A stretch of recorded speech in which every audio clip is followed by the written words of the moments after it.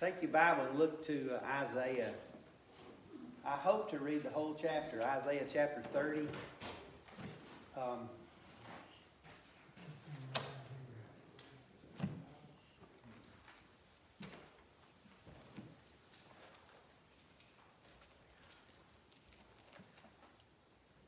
I hope to um, strengthen your biblical worldview as we read here. A few things to remember as we look at Isaiah. It's always important to remember uh, when he lived. Uh, it says Isaiah ministered in and around Jerusalem, and that's important. That's the southern kingdom. As a prophet to Judah for 53 years, it's a long time, isn't it? During the reigns of four kings, that would be from 739 BC to 686 BC. That's important to remember because when the northern kingdom fell, he was all in the middle of you know all that was going on.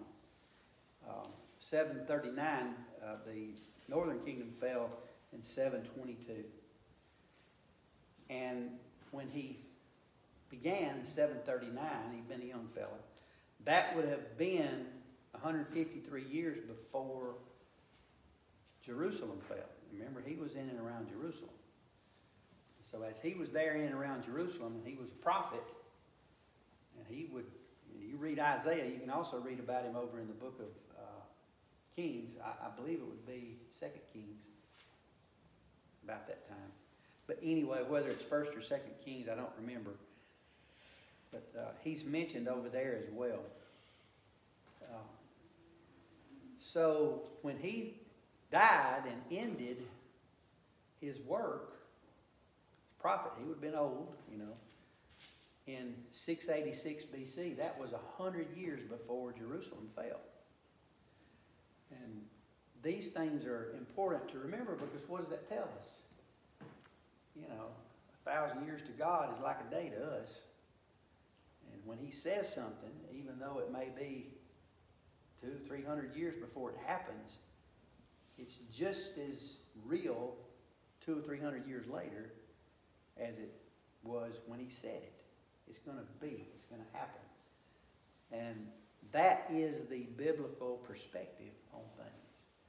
And what's so interesting about that is that there's many, many, many, many, many things that he has said are going to happen that still haven't happened yet. And so that puts us in the same position as these people that we read about in here, and we're about to read about them, and the faith or lack of faith that they had. You know, they, they, they were thinking, that's not going to happen. It's ridiculous. I don't have to listen to that. See that 153 years later, or 200 years, or three or 400 years later, sure enough, it happened. Well, it's the same for us. We're supposed to have faith in what was said, just like we read about them and we see they should have had faith. Right? So we should have faith today. Um, it's important to read in Isaiah as we read this in chapter 30. It's important to read it in view of chapter 36, where Hezekiah prays in 701 BC, and the angel of the Lord comes and kills that 186,000 strong army that was uh, surrounding Jerusalem. Uh, the way it was going, the northern kingdom had fallen in 722 BC. So 701 BC, the Assyrians were really, really strong. And they were campaigning, you know, they were going taking these people over. And uh, they would relocate them and make them work and pay their taxes to them. And, you know, they were an empire, the Assyrian Empire. And so they were headed down to Jerusalem. They were going to take Jerusalem, right? 701 BC. And so when you get over here to chapter 36 uh, and read about what happened, uh, just let me, uh, chapter 36, verse 1, it said, came to pass in the 14th year of Hezekiah. So if he, if he reigned from 739 to 680, excuse me, 715, he reigned from 715 to 686. So in the 14th year, that'd be 701. So in 701 BC is when uh, this takes place here in chapter 36. Sennacherib, the king of Assyria, came up against the defense cities of Judah and took them. And the king of Assyria sent Rabshakeh from Lachish to Jerusalem to the king Hezekiah with a great army. And he stood by the conduit of the upper pool in the highway of the fuller's field. Now, Rabshakeh made a terrible mistake.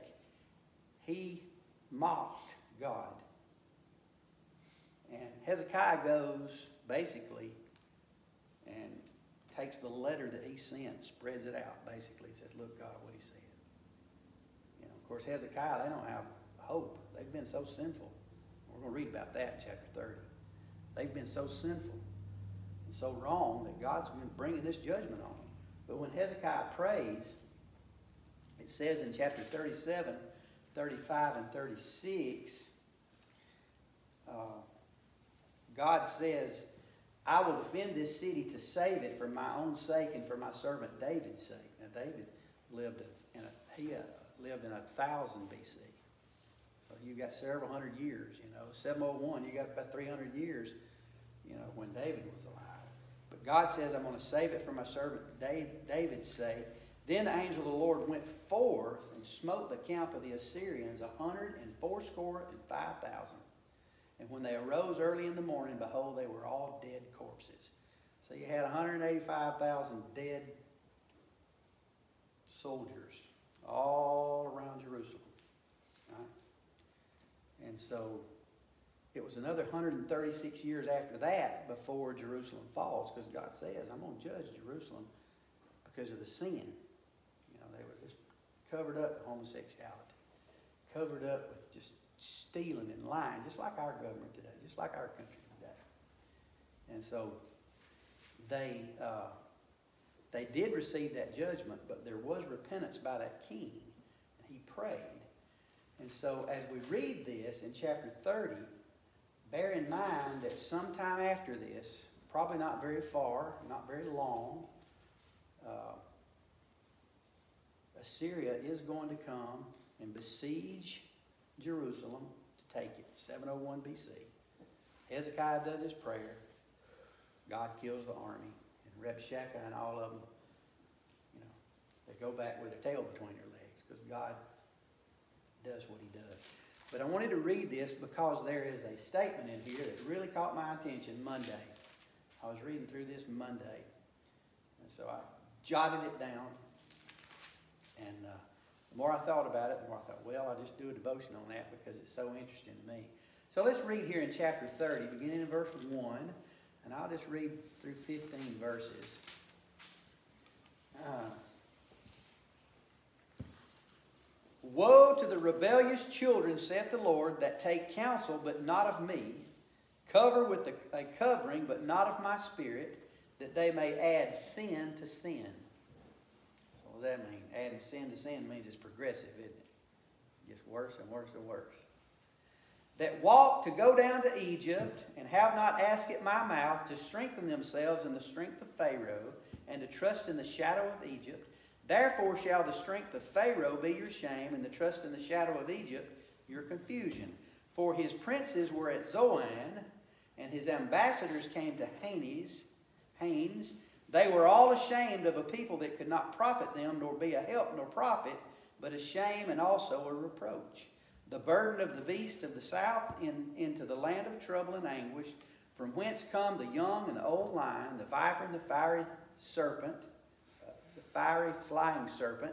They will carry their riches upon the shoulders of young asses and their uh, treasures upon the uh, bunches of camels to a people that shall not profit them. For the Egyptians shall help in vain, and to no purpose. Therefore have I cried concerning this. Their strength is to sit still. Now go, write it before them in a table, and note it in a book, that it may be for the time to come forever and ever. That this is a rebellious people, lying children, children that will not hear the law of the Lord, which say to the seers, See not, and to the prophets, Prophesy not unto us right things, speak unto us smooth things, prophesy deceits. Get you out of the way, turn aside out of the path, cause the Holy One of Israel to cease from before us. Wherefore, thus saith the Holy One of Israel, because you despise this word, and trust in oppression and perverseness, and stay thereon, therefore this iniquity shall be to you as a breach ready to fall, swelling out in a high wall, whose breaking cometh suddenly at an instant.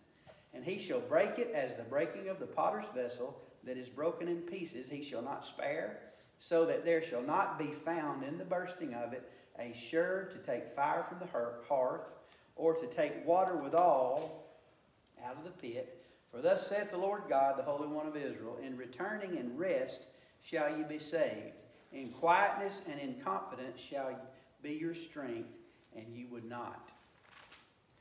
There in uh, verse 4, that Zoan and Hanes, those are uh, the cities in Egypt where the ambassadors of Israel were sent, excuse me, of Jerusalem. They were sent there to try to get help from Egypt because of the Assyrian army that they knew was going to come. They knew the Assyrians were going to come. They had already taken the northern kingdom, right? 722. So here we are 20 years later, roughly. And they knew that the Assyrians were going around scarfing up everybody. And they were going to come to Jerusalem. So what do they do? They send an ambassador, ambassage up to Egypt, or down to Egypt, to try to get Pharaoh to help them. Send your army and help us, and we'll serve you, you know, and then we won't have to be taken away by the Assyrians. So that's what that Zoan and Hanes are, cities where the ambassadors met with the Egyptians. And then verse 5 it says they were all ashamed of a people that could not profit them. So what does that say? The, uh, the Egyptians were looking and said, Look, why should we help you? We're not, y'all can't do anything that we need. Right? When Judah's ambassadors went into Egypt to meet the princes and form an alliance, they found them either unwilling to help or unable to give them aid. The effort proved to be one of shame, confusion, and reproach on them for even seeking such assistance rather than asking for the help of Jehovah. Verse 5. You see, God is the one that had always helped them when they had the conquest and they came into the land of, you know, Canaan and they took that land and it became their country. God is the one that had helped them. You remember the giants? All that was going on there. It's just amazing what God had done.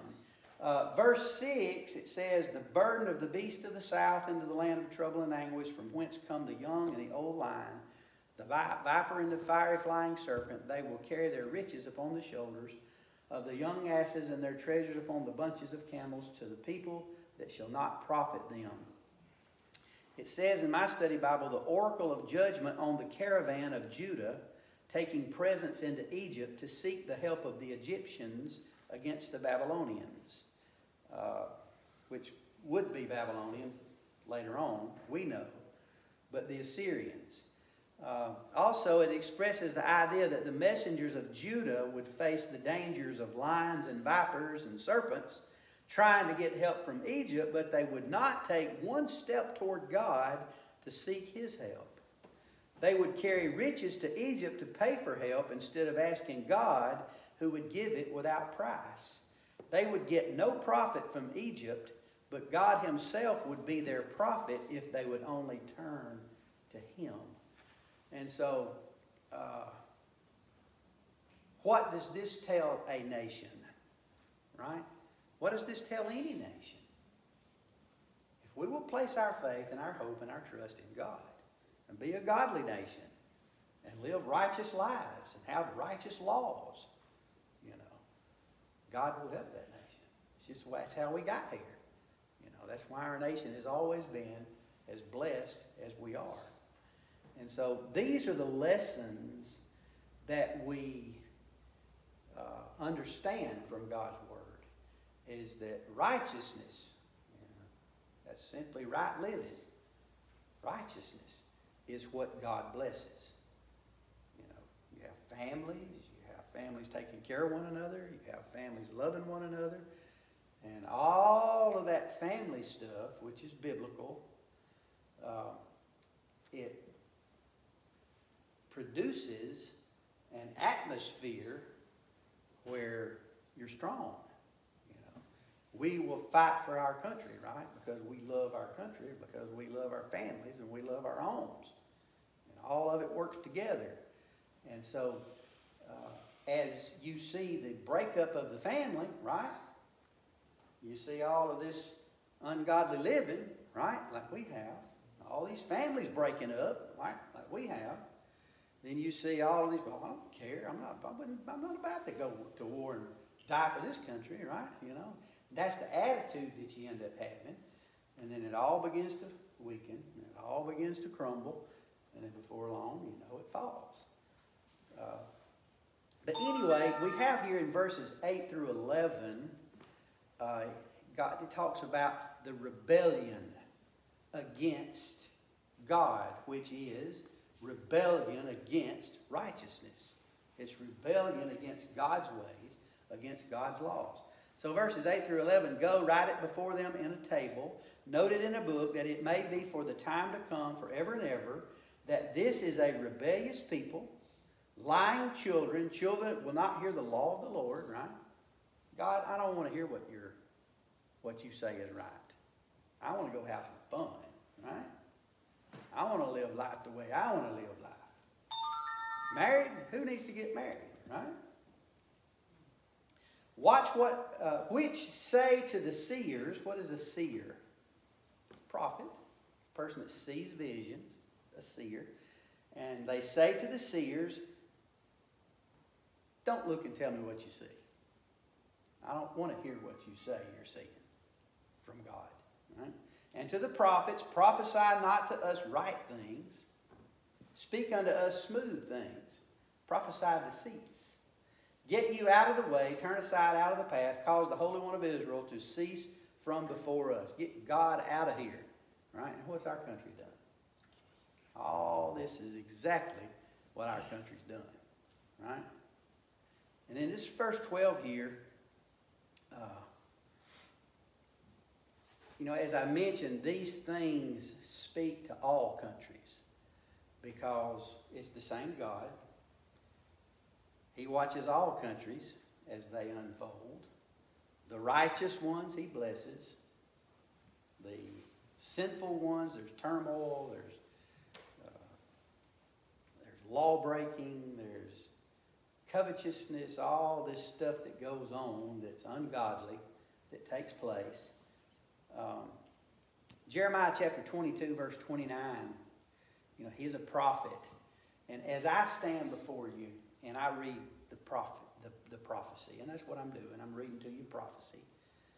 Uh, Jeremiah said, Oh, earth, earth, earth, hear the word of the Lord. And that's so true today. I would stand before the microphone on the television where all the world could hear me and I would say that earth, earth, earth, y'all hear the word of the Lord. Because that's our answer. You know, our answer is God's word. But uh, verse 12 is what spoke to me. Notice what it says there in verse 12. This is what caught me on this whole chapter. It says, Wherefore, or you say, Therefore, since all this rebellion, right? Therefore, thus saith the Holy One of Israel, because you despise this word, and trust in oppression. Right?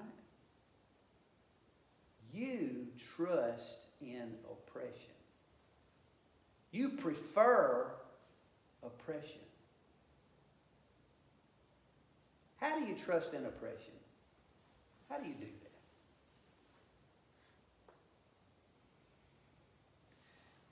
You are placing your faith in people that will oppress you. You're listening to their lies and believing what they say to you is going to be better for you. Right? Um,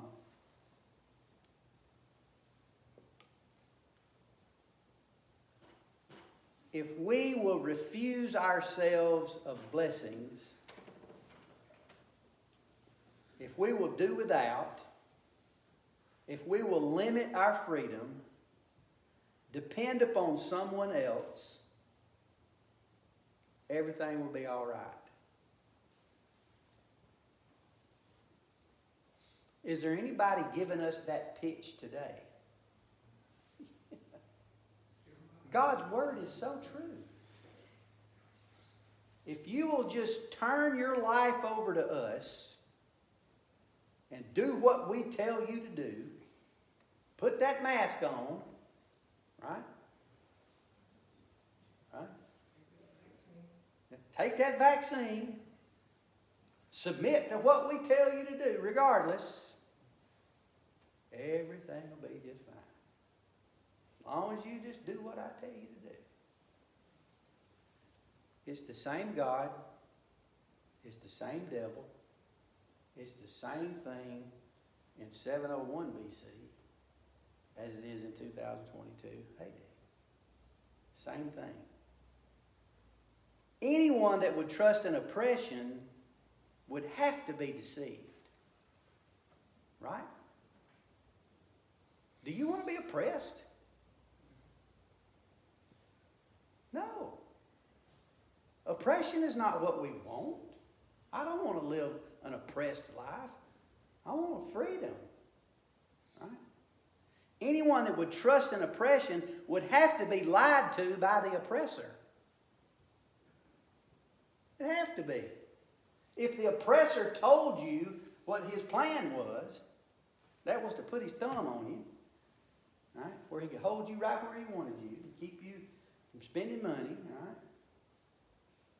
We got to save the earth. You're going to have to cut back. I'm not cutting back, but I'm going to get you to cut back for the good of everybody, right? But I'm going to be in charge. You listen to me. Y'all, y'all pay these higher gas prices because y'all need to be cutting back, right? We got plenty of gas, but I don't want you. I don't want you to have it, right? Right? Anyone that would trust in oppression would have to be lied to by the oppressor. The oppressor would have to snooker the oppressed. It'd have to. Who would choose to be oppressed on purpose. And God is saying here, you're trusting in oppression to see you through your problems. right? The oppressor would have to overpower the oppressed. He would have to be evil. The oppressor would have to be an evil person. Have to be. And he's lying to you, saying, I'm doing what's good for you. You just need to get on board.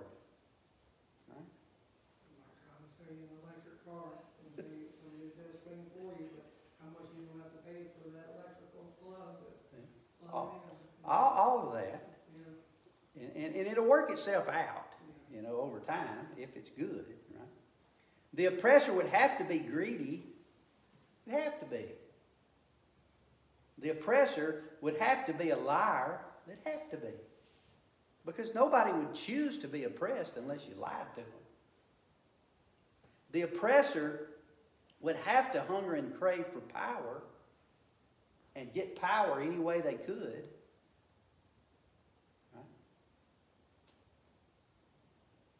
He says, because you despise this word and trust in oppression, right? And it says, and perverseness. You trust in oppression and perverseness. So because you despise this word and trust in oppressors, because you despise this word and trust in liars and power-hungry people and greedy people, and you despise this word and trust in evil people, and perverseness, I'm going to bring this judgment on you. That's what he's saying. And we see the same thing in our country today. When, when you look at what's happening and what's going on, things that are going on that are so perverted today, so twisted today, I can't keep my mouth shut about it. You know, like they want me to, and I've been taken off of Facebook. Want me, and they, they want a site, but, but it's so perverted. It's got to be pointed out, you know, from pulpit. It just does. Um, here's some stuff I pulled out of a previous uh, devotion I had done about communism, because uh, this is what this is: is communism. Communism is what is trying to overtake this country. Trusting in communism is the same as trusting in oppression. Same thing. And when, when, when God's word here says, uh, because you despise this word and you trust in oppression and perverseness, uh, verse 13, therefore this iniquity shall be to you as a breach ready to fall, swelling out of a high wall whose breaking cometh suddenly at an instant. So, you know, when, when, when the judgment comes, it's real quick. You know, it's like, you know, how, how did it, well, it was real, real, real slow, and all of a sudden one day it happened real fast. and that's the way it, that judgment comes. But uh, think about uh, communism and what it is and how, how it works. It plays off of people's greed, you know, is what it does. Uh, think of the logic of anti, antichristism.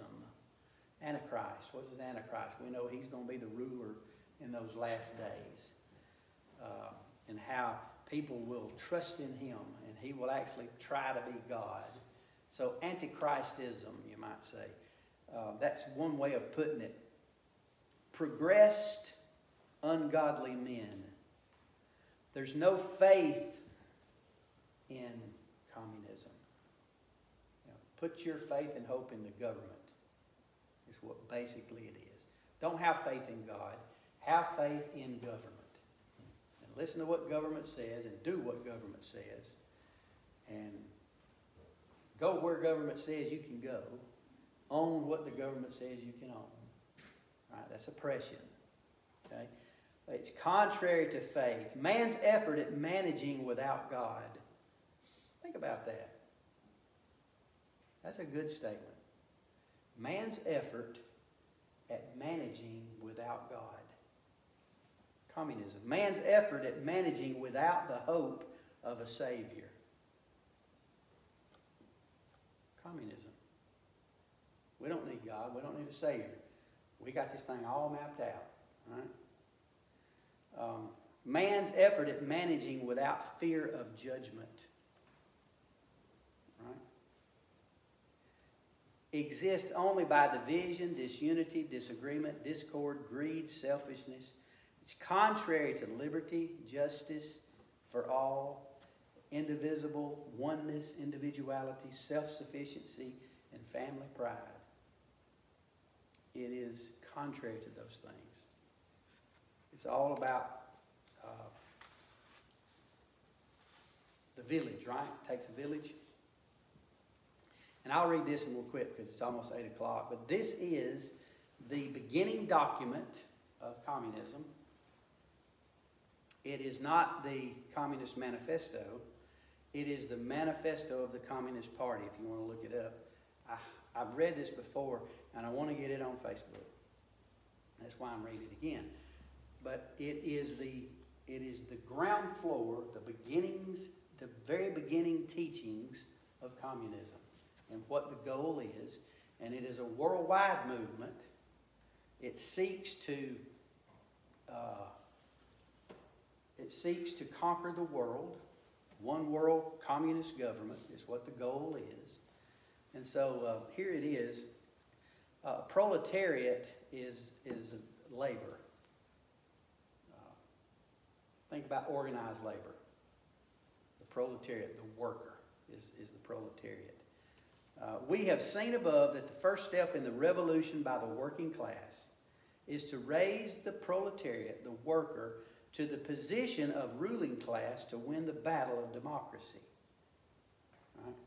So they're going to really push the unions because that's what the, the, the, the working organized labor is the ground floor of communism. They push that. That's where it all came from. Organized labor came from communism. All right? We need to understand that. The proletariat, the worker, will use its political supremacy to wrest by degree all capital from the. Uh,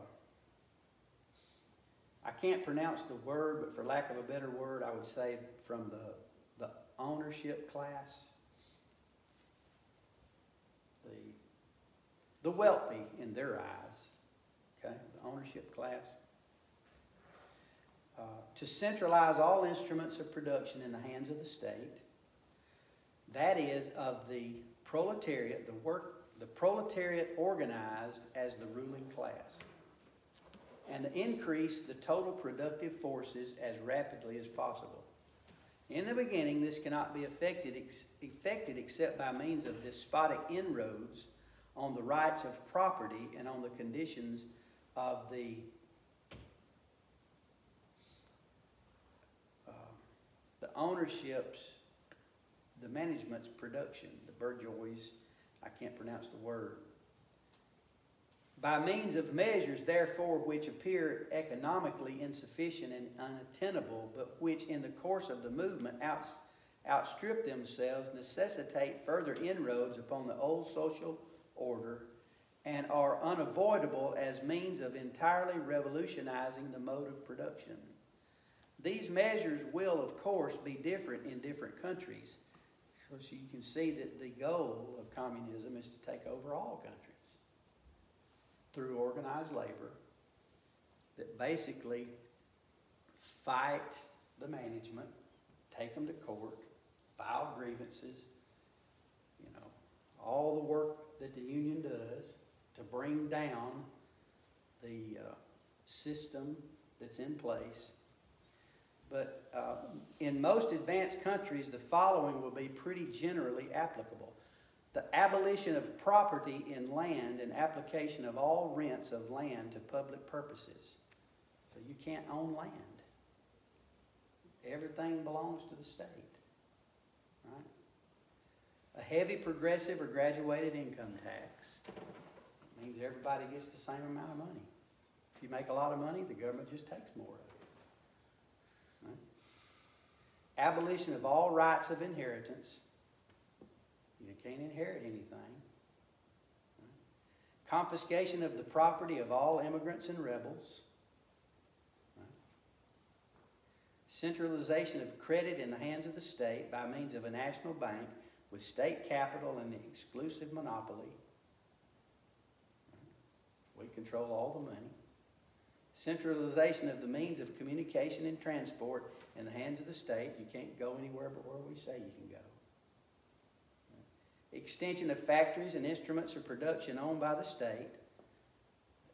The state owns all the businesses. In other words, everybody works for the state. Just like going over here and getting a job at, on the state highway department. Except all businesses are now owned by the state. Everybody gets their paycheck from the state. The state controls it all. Right? Can't start your own business. That's the final goal. No entrepreneurs. You just do what the state says to do, and we'll pay you, you know, the amount that, that's fair and equal to everybody. All right? Uh, equal liability of all to work, establishment of industrial armies, especially for agriculture, combination of agriculture with manufacturing industries, gradual abolition of all the distinction between town and country by a more equitable distribution of the populace over the country. So you got to move where they say. Free education for all children in public schools. Abolition of children's factory labor in its present form. Combination of education with industrial production, etc. And we'll stop right there. Uh, I had a good bit more I wanted to do. But what, what we see today in our day, with what's taken place with what I read to you, is a it's one of the final efforts of mankind to run this planet without God. Because when you look at what God has for you freedom, liberty, blessings, a good life, versus what man made government wants you to have, which is oppression, right? It fits exactly what God's punishment is. I'm just going to let you do what you think is right in your own eyes, which is ungodly living, and I'm going to let it run its course. And we're seeing that, you know. Biden is all for GM's electric cars and Ford and Chrysler, but won't even talk to Tesla. And Tesla is one of the strongest uh, electric car makers there is. And they're in the United States. But they're not union. And so it even plays out, you know, in, in what, what the devotion's about tonight. You know, Biden's a communist. He's going to support the, the unionized, the communist uh, companies that have labor unions. And Tesla, they don't have labor unions, so you know he's not going to he's not going to support them, encourage them. But it's right there in the news when you understand what's going on. And so it's trusting in oppression. That's what trusting in oppression will be about. All right, it's five after. We got to start hauling youngins, right? But uh, that was so blatant. I had to do a devotion on it. I just had to had to bring that out, you know, because we're living in the last days, you know, and we just need to accept that and understand it and try to reach as many people for Christ as we can, uh, because it's so uh, it's so real and obvious. Any comment before we go? Just trying to get Tel- Telson sweated out and all, and once we get, we drop their, from the market and try to put their name on it, eventually it's probably what they're trying to do. That's what they're trying to do sometimes. Trying to get all of the large, trying to get everybody organized with organized labor. Mm-hmm. So basically, the government can be in control of it. That's What it amounts to. The only thing I see about it is wrong with electric cars. I don't know how long it takes to charge it back up. But you, I'm gonna say you've got a five hundred mile range on the battery. You gotta sit there for an hour or so before you can take off even. Yeah. When you pull up the fuel pump, it's in about five minutes and gone. Right, yeah. Yeah, they don't have it perfected yet, that's for sure. Yeah. Well, let's stand up and have prayer and be dismissed. I'm gonna run us over tonight. Amen. Let's pray. Father in heaven, thank you for your word and what it means to us. Thank you for uh, speaking to our hearts. And we pray, Father, that we might take these truths that uh, you speak to our hearts about and realize the importance of, of serving you and, and living according to your word. Uh, be with us, we pray, as our God, as